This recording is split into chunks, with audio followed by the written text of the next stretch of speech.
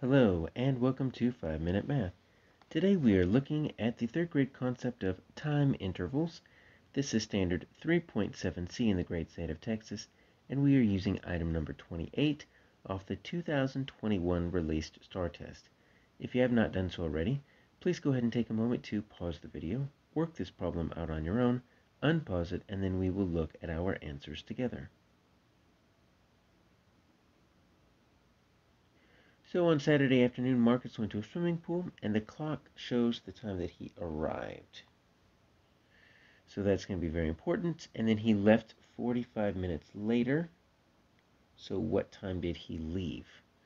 So first let's figure out what time he arrived. So we've got uh, our hour hand is between 1 and 2, right? So that's going to be 1 something. And remember that these big numbers are sets of 5. Alright, so we've got 5, 10, 15, 20, 25, 30. So here's 35. So 7 times 5 is 35.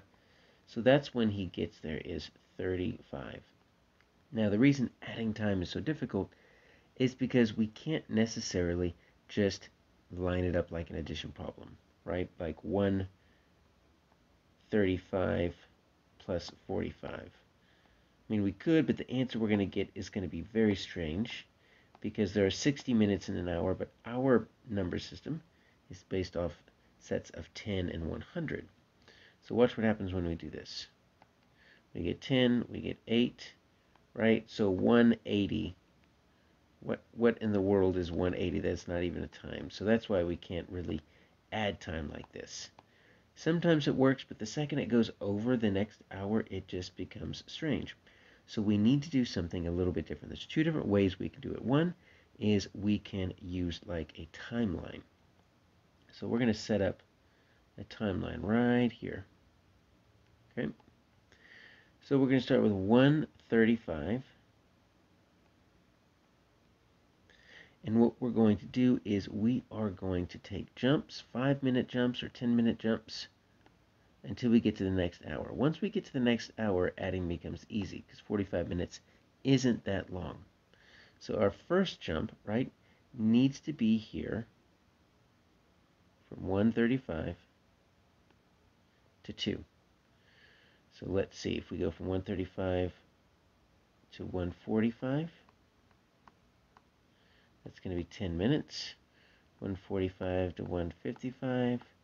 And obviously the spacing here isn't isn't good, but that's fine. It's another 10 minutes. Between 155 and 2 is going to be 5.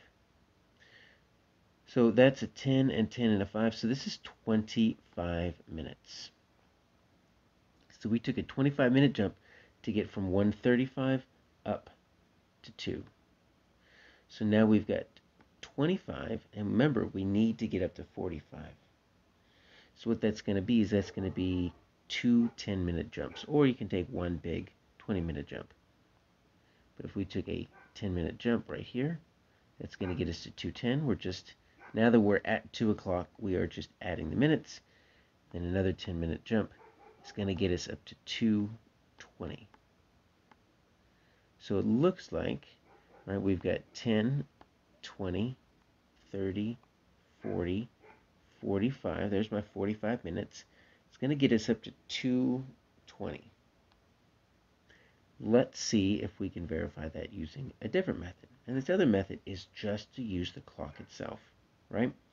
Now we have to visualize the hour hand, but the minute hand is not so difficult. So what I'm going to do is I'm going to go ahead and fill in the rest of this just in case we need it.